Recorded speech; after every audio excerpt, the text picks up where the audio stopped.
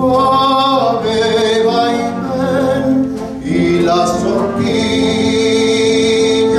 más, pie sobre pie.